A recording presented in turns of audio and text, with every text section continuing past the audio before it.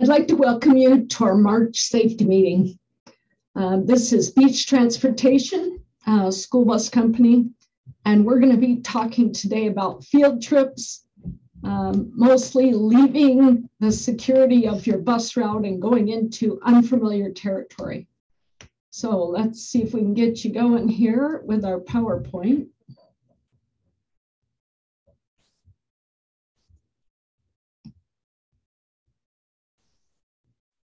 Okay.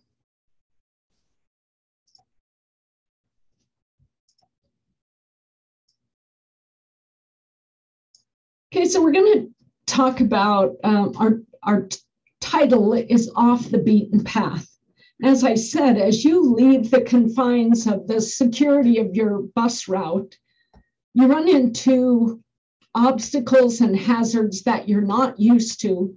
You have to kind of think on your feet a little bit, and things just don't go as regular as you're used to on your school bus route. Now, for those of you who have done a lot of field trips, this will be just a review. It never hurts to think about what you can do better, um, where your weaknesses are, what things that you're kind of getting complacent with. And for those of you who are new, uh, there's some real important things that you have to do when you go onto a field trip roster. So let's get going here we're going to talk about preparing for that extra trip, the work orders that go along with that, how to do the paperwork, student management when you're on a field trip, finding your way, that's pretty important. Then into the hazard zones, we'll look at the hazards of field trips or potential hazards. So, preparing for an extra trip. First of all, you need to sign the availability sheet. Um, that availability sheet is by seniority, and it is in the driver's lounge at the main office.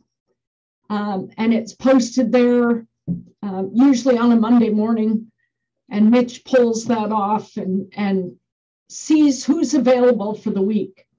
So come in, sign the availability sheet, let them know, let Mitch know, let Josh know when you are available to do extra trips. Um, the skills of a good field trip driver um, are basically your good driving skills.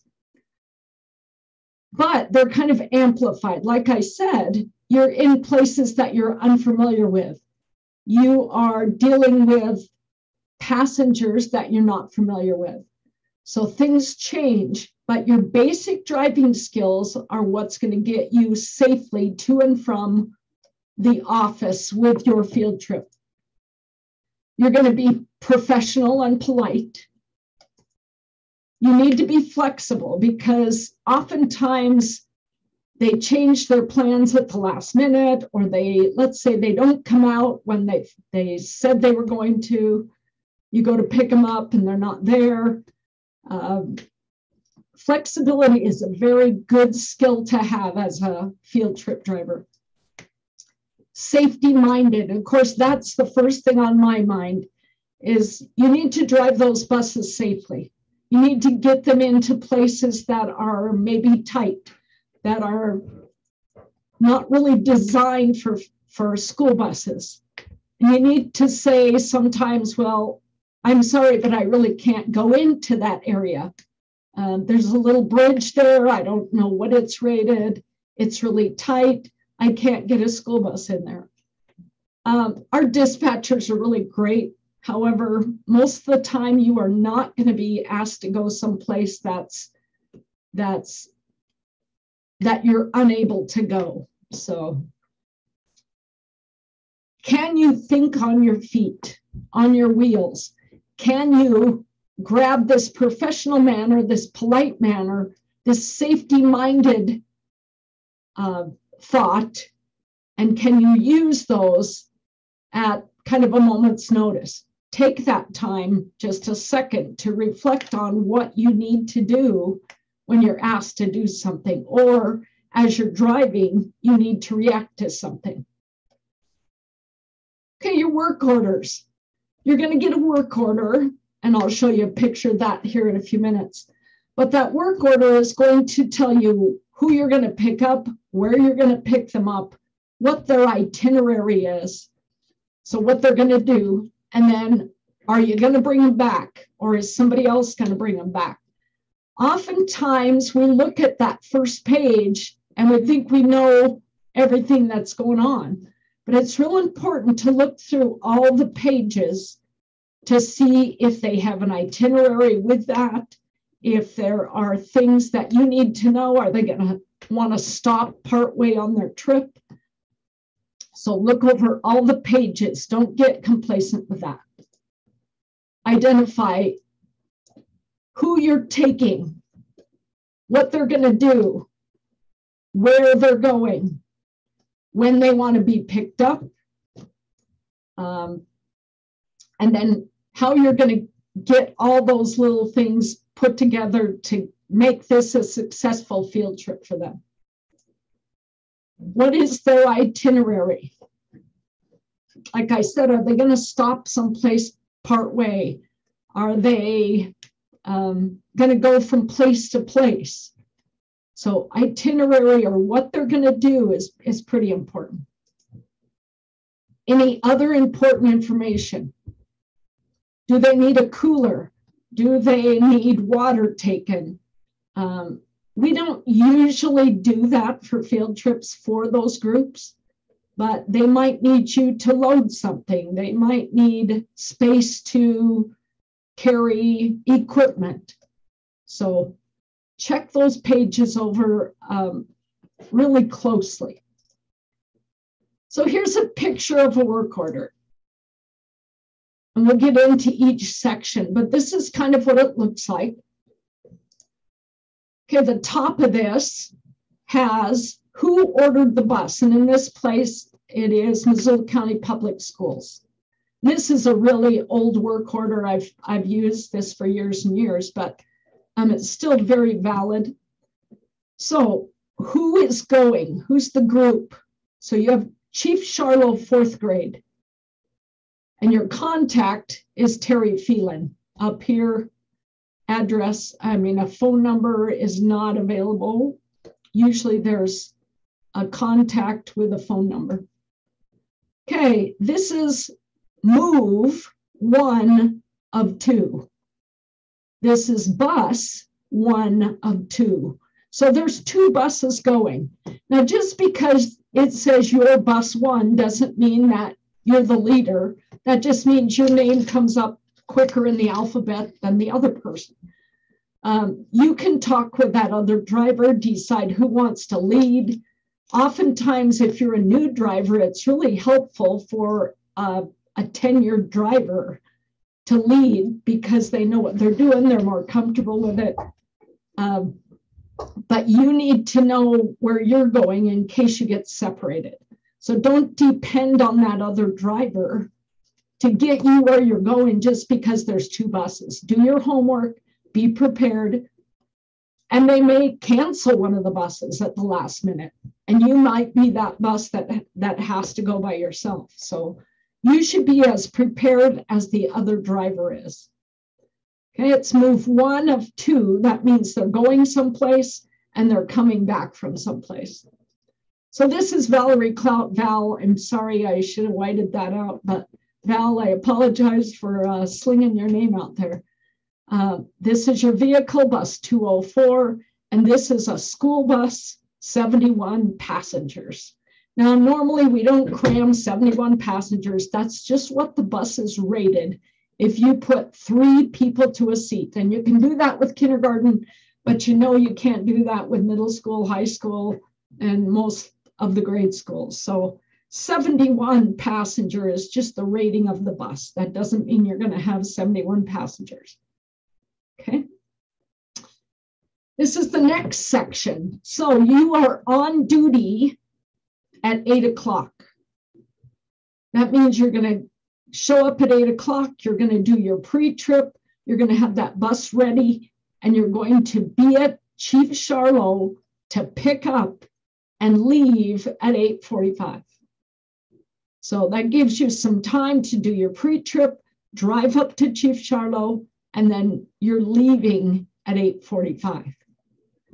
So let's say um, they don't come out till nine o'clock. You're just going to put the actual time over on this side. Your eight o'clock is going to be actual. That's the one that you're going to set. That's when you are on duty. Then you're going to put nine o'clock because that's the time they came out. You're going to take them to Travelers Rest in Lolo, Montana, estimating to be there at 9, 9 10. Well, because they didn't come out till 9 o'clock, it's going to be 9 25, 9 30. Put the actual time down there. And then you are off duty at beach transportation at 9 30. Well, they didn't come out at 9 o'clock. You're not going to be back at 9 30. So this tells me that I'm going to drop them off and then I'm going to come back to, to the office. I'm not going to stay with them. I'm coming back to beach transportation. And maybe someone else is going to pick them up. Um, if you were going to be the one to pick them up, you would have another work order or it would say um, the time to pick them up. But at this point, you are just taking them down there and dropping them off at Traveler's Rest. Then at the bottom is your total time. Okay, the next section is the itinerary. You are going to load the group in front of the school. The driver's going to drop them and return to get the group at 120. So you are going to go back and get them. The bus will be full with 54 passengers like I said, that 71 passenger is, is not going to reflect the real number of passengers. But here's kind of what you're getting into. Okay, the next section is your starting odometer. You need to fill that out before you leave. Otherwise, it wouldn't be starting, right? When you're done, you're going to put your ending odometer you're going to put your total miles and your route of travel. You can just put Highway 93. If you're in town, you're just doing something in town, you're going up to the PEAS Farm, you're going to uh, Benson's farm for pumpkins, you're uh, just in town, you can just write local, L O C A L, local, not local, not crazy, but local. And that just says that you're in town, or you can put in Missoula. Okay, then most of you are not going to use these categories. You're not going to buy a meal, you're not going to buy fuel, you're not going to buy anything miscellaneous. You're not going to get a cash advance. You shouldn't have any expenses.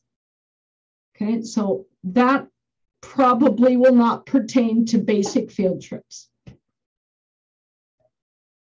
Okay, the bottom section.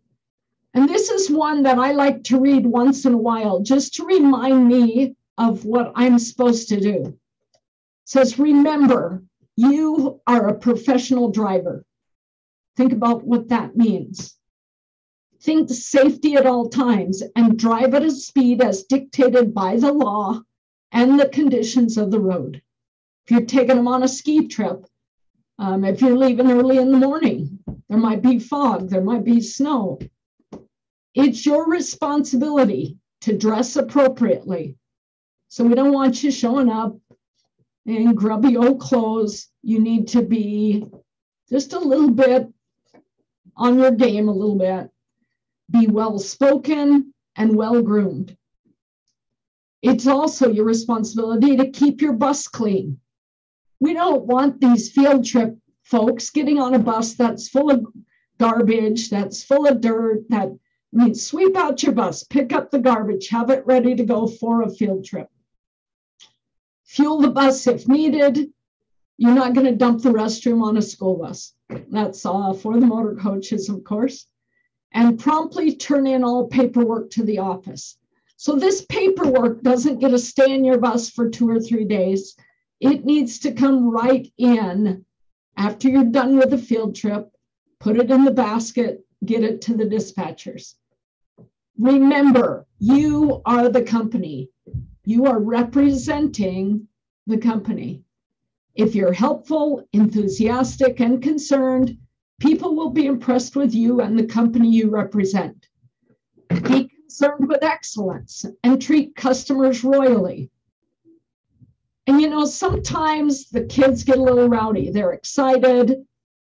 Uh, we'll talk about discipline um, coming up, but do your best to be that polite driver who's who's doing a service for these people. And then at the bottom, I certify that all information contained herein and attached is true and correct in all respects. I have also completed my daily pre trip and post trip inspection. I've reported any damage. I've checked the vehicle for sleeping passengers and I've turned in all items on the vehicle. Just kind of nice to read that once in a while and remind you of who you need to be while you're out on these field trips. Okay, student management. Now, on your bus route, you know your kids, Hopefully, you know some names and you can uh, correct them with that name. But when you are on a field trip, these are usually totally different, a totally different group of kids and chaperones or teachers. So you need to keep in mind that all safety rules still apply. If your bus has seat belts, the passengers should be wearing seatbelts. Excuse me. So you're going to get up at the beginning of your trip. You're going to say, um, Welcome to the field trip. I hope you have a great time. Remember, we've got some emergency exits on our bus. Um, each of the, the hatches up on top, you just push open um, and you can use those as an exit. There's four safety windows that you can use as exits, and the back door is an exit. Uh, we do need to wear our seatbelts. So um, please get your seatbelts on and then you're done. Okay. You don't have to go back and, and uh, stand by and glare at some little kid who's not putting on their seatbelt. You don't need to. Um, it's just not a time to apply uh, discipline. You tell them the rules, you let them know what they need to do, and then you drive the bus. now, there should be a supervisor or a um, teacher on the bus, and they should be the one who manages the students. So if there's something going on on your bus, you've got a couple of kids in the back that are standing up and, and moving around, you just mention to the supervisor, who's almost always up in the front, um, because they're they they kind of feel like now I'm on vacation. I don't have to be in my classroom, but you can turn around or or look in your mirror and say, "Hey, Mrs. So and So, Mr. So and So, we've got kids standing up in the back of the bus. They need to sit down." So use your supervisor as the disciplinarian. They know the kids they know how to um, enforce what needs to happen. Now, there are times that we have had field trips where the supervisor was on vacation. They didn't do their job, and we've had drivers that had to pull the bus over in a safe spot, but that is not the norm. The norm is, is that your supervisor is the enforcer. Okay, like I said, if you need to pull over in a safe spot, Okay, finding your way, which is one of the most important parts here. If you don't know where you're going, ask. It's just easier to ask before you wander around the city looking for Chief Charlo's school and um, you're over on the north side. We get really used to the schools that we go to every day. And you may not know where all the schools are that you need to go to. You may not know where these field trip destinations are. So ask if you don't know. Don't get out in your bus and then look at your your um, paperwork and say, "Oh, well, I'm not sure where that is." ask before you go. So there's a couple things on your computer. You have um, on your phone, you have GPS, but please don't depend on that GPS to get you there as you're going. Um, I guess what I'm saying is prepare ahead of time. Don't just grab your worksheet and say, oh, well, I'm going to uh, Bill Bailey's uh, breakfast bar, and I'm not sure where that is, but I'll type it in and it'll take me there. Uh, you get in trouble sometimes that way, and, and you can do it, I know, but um, streets and trips, Google Earth are two things that you can look at on your computer. You can look at on your phone, you can do your GPS and kind of look at where things are before you go. But this is, like I said, I stress it needs to be done before you go, not while you're sitting in the bus getting ready to drive but before you go pick them up. Sometimes it's nice to go take a drive if it's right here in Missoula and go see where you can park that bus and how to get into something if if you don't have the access to a, a computer program to help show you uh, after you get off your bus route run over there uh, take a look at it and then tomorrow, when you've got that trip, you know right where you're going. You're confident. You're um, you're experienced. So here's just an example of streets and trips. Um, this is Highway 93. You're going to turn onto Highway 12. And this is such an old version that it really doesn't have, it has your turn off here, but it doesn't show much of anything uh, for Traveler's Rest, which is where we're going. Okay, this is Google Earth again. This is Highway 93. You're turning onto Highway 12, and then you've got Traveler's Rest here, and it kind of shows the parking lot, the configuration there. You can zoom up into that. Here's, here's kind of a Quonset hut you can drop at. There's other buildings there now, but kind of gives you a little closer look at where you're going. So let's let's take our little trip. We are at Traveler's Rest here. And this is in Lolo, Montana. Here is your turnoff. Now, as you approach turnoffs, places you're not familiar with, you should slow down, eyeball the situation, How's my turn? Can I make that with the bus? Okay, I've got a gate. Is that going to be wide enough? Are there cars coming? And then make your turn nice and careful. Okay, you're headed down the road into the parking area, into the drop off space. And you got a sign here. Let's see what the sign says. It says passenger loading and unloading. Well, that sounds like someplace I want to be. There's parking that way, but I'm an RV or a bus, so I'm probably going to go there. But first, I'm going to do my passenger unloading. So I'll proceed. This is what it's looking like. You're going to drop off over here. If it's muddy, you're going to want to drop off by the sidewalk. Normally, there's cars parked out here, kind of on a slant. So you may not be able to drop off there, but this is the drop off area going to pull in carefully. Again, you're looking at, at the overall picture. What is safe? What is not safe? What are the hazards? Okay, so I'm going to pull in here and I'm going to drop off right here. All the kids go that way. This is a little closer look. You have pedestrians coming through here. Again, do you have cars parked here? I can drop the, the kids off right here and the teachers.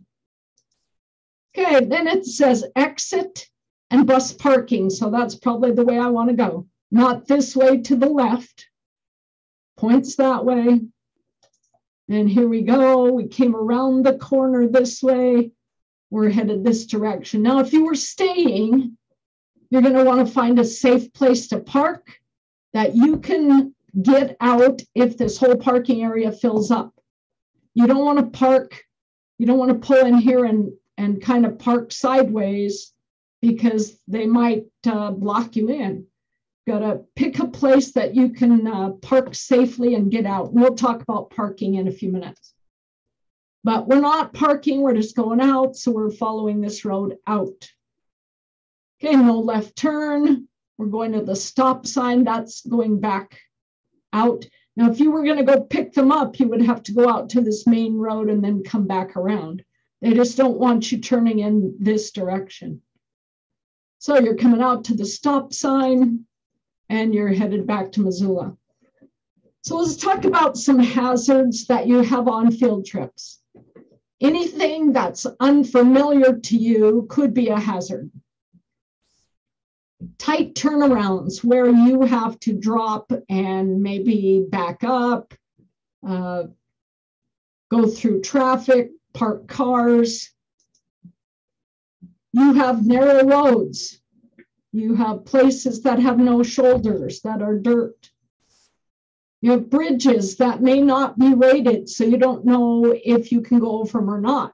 You have underpasses or, or gates that have overhangs. You need to think about can you go under those or uh, how tall is your bus? Is it going to fit? Gates, entrances, are they tight? Can you get through there?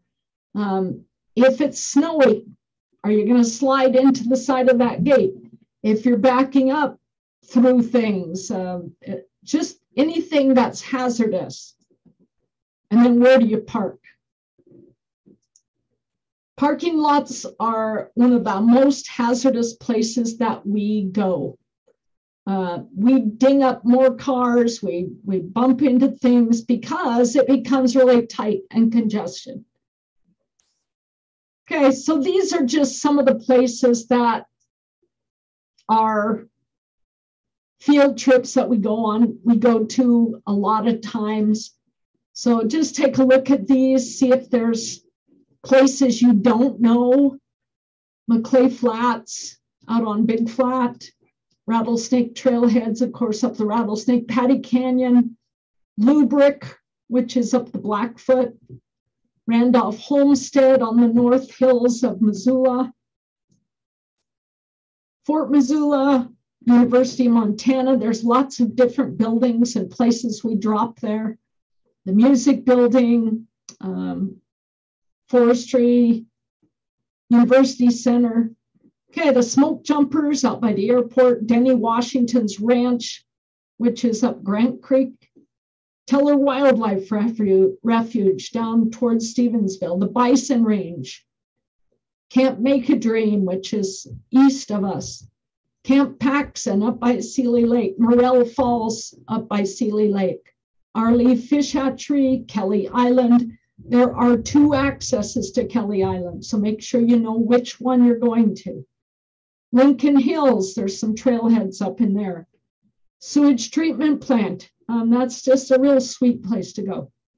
Currents, splash, two swimming areas, one on each side of town. And then concerts, um, Big Sky Brewing and the Kettle House Amphitheater. Uh, we had a lot of trips during the summer, um, spring, summer, and fall to the concerts. So these are just some of the places that we go on a regular basis. Know where you're going, know how to get in there, know how to get out. Okay, turnaround options are not always the best. So this is off of a dirt road. They say, oh, yeah, you can turn around right there. Well, with this dark mud, you may want to get out of your bus before you make that turnaround and walk out there, see if it looks good. You make that judgment call. Don't just let your um, tour guide or your teacher tell you, oh, yeah, you can just turn around there. It's not a big deal. Well, you might be able to in your car, but your bus weighs a lot more than your car. Walk out there, take a, a second, Make sure that there's no obstacles under the grass. This is pretty clear, but make sure that you're not going to sink down into the mud. That would be my biggest concern right there. Okay, tight turnarounds where you have to do kind of a three point or a 60 point turn. Watch what's behind you. Now, as you're backing up, If you back up too far in this position, you might rip that tailpipe off. We've had buses come back from field trips with no bumpers, with crashed in back ends, with tailpipes hanging. Um, when you're backing up, are you going to hit trees? You've got to take a little extra time. Don't be so overconfident with your driving that when you're an, in an unfamiliar place, you can just back it up, rip it around, and you're and you're done. Take some extra time in those unfamiliar places to see what's behind you, what's under you, what's above you. Okay, narrow roads where you have no shoulder, where you have uh, maybe a little borrow pit that you could get down into. Uh, be really careful with the potholes. You may have to slow down on these dirt roads. Take it easy. Don't just jar everybody. Don't get over too far. Uh, if you had traffic coming towards you in this instance, you may have to pull over um, quite a ways and let them pass and not just keep driving. Uh, you don't want to put another car off the side of the road and you don't want to get yourself down into this soft stuff that's going to mar you down or maybe even tip you on your side. So, things to think about on the fly, things to think about on your wheels. Okay, bridges, like I talked about, sometimes bridges are not meant for buses to go over. You weigh 29,000 pounds when you're loaded. That's a lot of tons. It's almost 15 tons. So if there's no rating, it might be best that you don't go over there and you let them walk the rest of the way. Underpasses, gates, things that might hit the top of your bus. You might be able to go under that with just the overhang, but not with the sign. And you're not going to just go slow and push that up make good decisions. You have antennas on top of your bus that this sign would might rip off if maybe you could go under this. Maybe it's tall enough, but maybe it's going to hit your antennas also. So if you can go under, think about what's on top of your bus that could be ripped off by something you're touching. Extra careful. Okay, gates and entrances. Uh, this is up to the PEAS Farm up the Rattlesnake. At one point, they had us going in this little parking lot. Now they've got a parking area outside that the kids can go walk up in there. But at one time, they had us going in through this narrow, tiny, skinny little gate with all these cars and traffic, and we'd had to back out or get a spot where we could pull in and back out just not a safe spot. It would have been much better to drop right here by the entrance and then go up the road and turn around at the cul-de-sac. This is not a safe place to take your bus. Even if they say, well, can you get us a little closer? These are most of your, your field trips are going to involve young kids who are very capable of running, jumping, crawling, uh, and, and they can walk an extra 100 feet don't put your bus in a position uh, that's dangerous just because you think you want to be a nice guy or gal and get them a little bit closer. Safest spot is don't go in this kind of a mess, drop on the street. Like I said, they have a parking area out here now. Okay, where to park? So, two examples here. This is up at Blue Mountain, just I took the pictures because they were kind of close to town. This is out at Maclay Flats. This is a circular drive around here. But if you pulled in here and you kind of parked over here, people could come and park behind you and in front of you, um, parallel parking manner, and block you in. So think about where you're going to park to where no one can block you in. Uh, now, you're not going to block them in either. You may while you unload and while you load, but not while you're parking if you're staying there. This little parking area, okay, you might pull in and just park. Well, at three o'clock when you're picking them up, when they come back to your bus, This might be full of cars. They might be to the side of you, to the back of you. So park in a manner that you can pull out and not be blocked in. Takes a little bit of thinking. Always go into a parking lot or a parking area thinking that when I come back, this could be full of cars. So I need to park in a place that I'm not going to get blocked in. Okay, parking. Now, this is your venue over here. All the cars are parked through here. I would drop my people off and then park way out here where I have access to the exit. Um, I can swing back around and pick them up. Or if this is a grocery store, you drop them by the door and then you go park and wait for them to come to you. Now, when you drop them off, they're all getting off at the same time. If you're at a grocery store, they're not coming out at the same time. Um, they're in there shopping, and one one group's going to be out in about 10 minutes. The next one's going to be 12. The next one's going to be 20. Um, so at a place where you drop the whole group like a grocery store, it's best to take that bus way out here in the boonies, park in a manner that you cannot get blocked in, and then have them come to you. More parking lots. This is the trailhead for the M. This can get really congested. You won't be parking in this parking lot.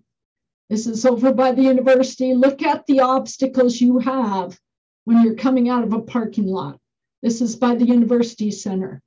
You've got this big curb. You've got probably cars parked on both sides of you. You're going to have to swing a little bit wide, avoid the can and the curb and the tree and this tree. Make your turn nice and careful. Go slow. When it is tight, when it's close quarters, you've got to go slow.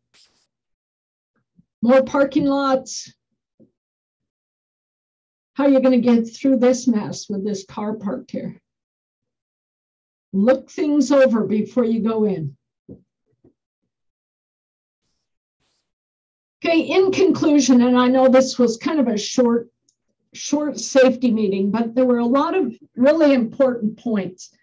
Uh, the biggest point was be prepared. Uh, be prepared before you go. Know where you're going, how you're going to get there. Fill out your paperwork as soon as you get it done. As soon as you get done with the trip, turn it in. Don't hold on to it fill it out as you go. Uh, put down when you pick them up. Take that that 20 seconds to write in the time that you actually have them loaded right before you drive off. Note that time on your sheet. Then when you go to drop them off, check the time, fill that in. And then when you get back to the office, all you have to do is fill in your ending mileage and the time you get back. Keep your paperwork up to up to date. Use safe practices when backing. Only back when necessary. Get a spotter, um, not a not a kid, not a fourth grader, an adult, and then go back with them and let them know the areas that you want them to watch. Oftentimes they'll get focused on you know that that sign that's right by the edge of your bus and they'll miss the curb that's below your bus that you just crashed into. But um, let them know what you want them to to guide you around. Go slow. Go careful narrow roads can be hazardous especially this time of year when it's it's wet it's spring we have snow one day we have rain the next day be very aware of your bus height, your bus weight, and its width. Like we've talked about before, that width is important, and you've got to get the back end through those obstacles as well as the front end. In tight spots, drive slower, use your mirrors more, get the back end through the obstacle. Parking lots are dangerous. Don't go in those unless you absolutely have to and um, make sure that you can get out once you get in. Going down and around corners in parking lots at the end of that parking um, setup uh, may not be possible for a bus. Like I said, this was a little bit shorter than we usually do, but I want to thank you in advance for safely driving on these field trips in those places that are a little more difficult, that are unfamiliar to you. Please use your head, use your driving skills, use your brain, engage that brain, don't get overconfident. Okay, be safe out there. And, you know, field trips are one of the perks of driving a school bus. Um, it's fun to go new places. It's fun to take people places. Um, I've had some really fun field trips with groups, spending the day with them or spending half a day, uh, dropping them off. Have a good time with it. Spring is just around the corner. Um, we are all rooting for it, except those of you who are skiers, snowboarders, I know, but most of us are rooting for spring, and I think it's just around the corner. Field trips are ramping up. Be prepared for those. Sign up on that sign up sheet and then drive safely as you go out into that unfamiliar area. Thanks for watching. Make sure you fill out your paperwork. And uh, until next month, uh, have a good day.